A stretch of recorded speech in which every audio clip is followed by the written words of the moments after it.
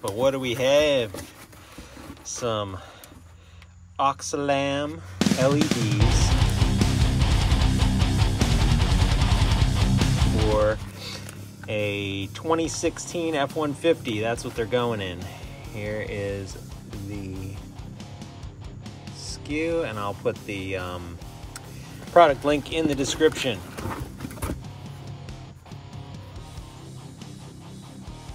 High beams, low beams. Let's open these suckers up.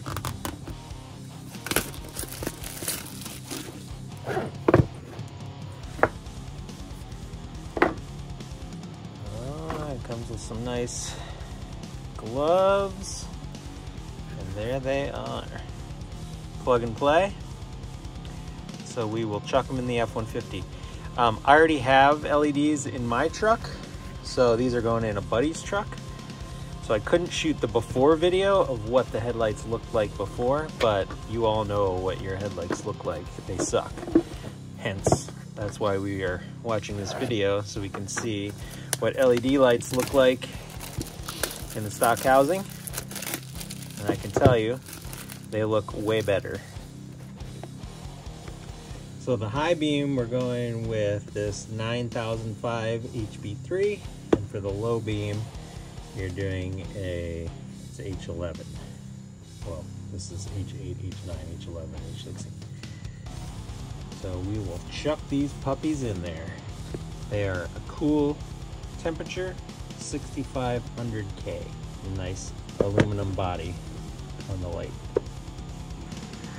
All right, to get to the lights, I'm sure you've seen tons of these videos, but um, you can take the tire off if you want, or that seems like a little excessive. So just turn it one direction so it gives you some space into here. And again, the high beam is the 9005 and the low beam is the H11. So in order to get to it, you have to get this inner fender liner peeled back. So he has fender flares. This is my buddy's truck. He has fender flares. I just cut a little notch in here so I can get to it, but there's a little bolt in here. That guy. There's one here. There's a plastic screw type thing. Plastic one. Okay, oh, just pops it. There we go. Little unscrew and pop. And there should be one more. Okay, one of these guys up top here, which it always helps to have plastic pry tools.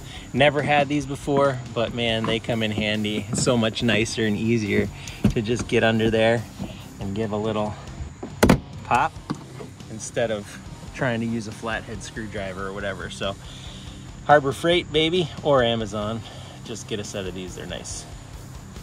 So we will take out these. I have a little electric uh, ratchet. Size of those little bolts are 7 32nd. All right, so this lower screw uh, wouldn't come out easy. You can see it's a little, I'm in Pennsylvania, so obviously there's rust on it somewhere. Um, but it wouldn't come out, it just wouldn't back out. So I stuck the pry plier thingy back behind here and just gave some pressure pulling on this plastic while I backed this out and then it came out. And then, so two screws, one here, one here, plastic pop rivet here, and then a screw pop rivet here. And you should be able to pull this fender liner back and away. So then you take these dust caps off.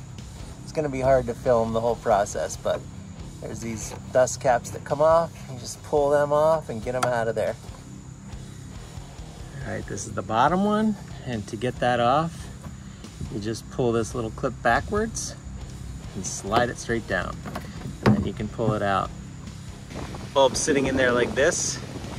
And I just gave it a little twist to the right and pulled the bulb out. These bulbs are still good, so just don't touch them with your fingers. You don't want finger grease on them. And uh, they'll be good as backups, but I doubt he'll put them back in. Also, one thing to note is that the upper upper light, upper bulb is the low beam. The lower bulb is the high beam. So normally I'm like, oh, low beam is the low light. Wrong. I know I'm reiterating this stuff over and over again, but I don't want you to put the wrong one in because that's annoying. So low space 9005 bulb, which is the high beam.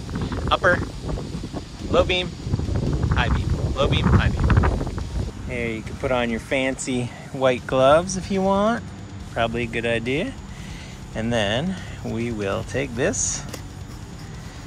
Probably going to plug it in first into the wiring harness and then put it in like this, twist it, get it in the space. Trying not to bang it on anything and all that stuff, so just be gentle.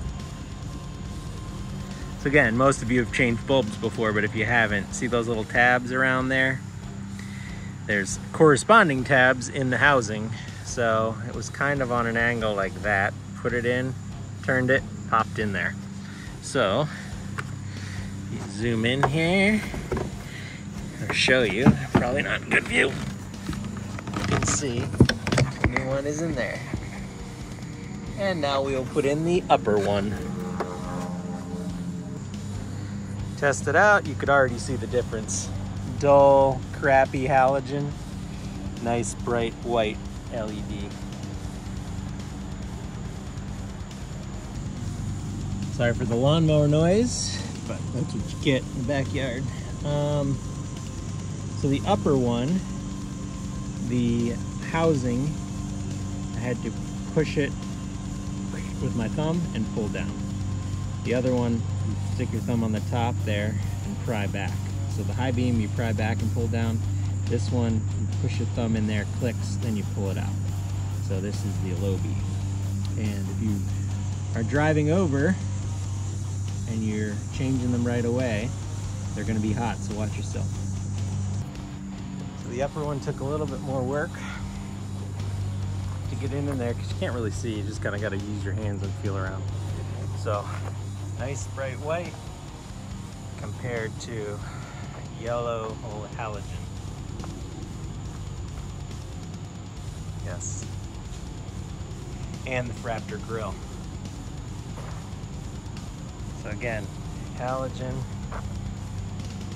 beautiful bright whites, and I'll get a shot of these at night. Just redo what you did in reverse two screws, two plastic clips, put the fender back on there, good to go. Go to the other side, turn the wheel. Don't forget to turn the wheel, give yourself some space. Do the other side. All right, here we are with a little light review. My uh, friend from Ride the Earth hooked me up with some new headlights to replace the old ones in my uh, 2015 F-150. So here we are, low beams, now we got some high beams, definitely much brighter than the factory ones, uh, even on low and high setting. So there you go, pretty happy with the upgrade. All right, both are installed. There you go, nice bright white. Uh, my initial review is they're nice, super bright, super white, seem to be quality. The bottom dust boot fits for the high beam. The upper dust boot the back of the light is too close to the housing, so you can't put the dust boot on completely. It's only about that much that won't seal at the very, very top. So keep that in mind when you're purchasing. I think that's a common thing with LEDs. Um, I have the Anzo headlights, so there's more room in there, so the LED was able to fit inside of it and still get the dust cap on but I'm sure it's fine. So that's it. Like and subscribe.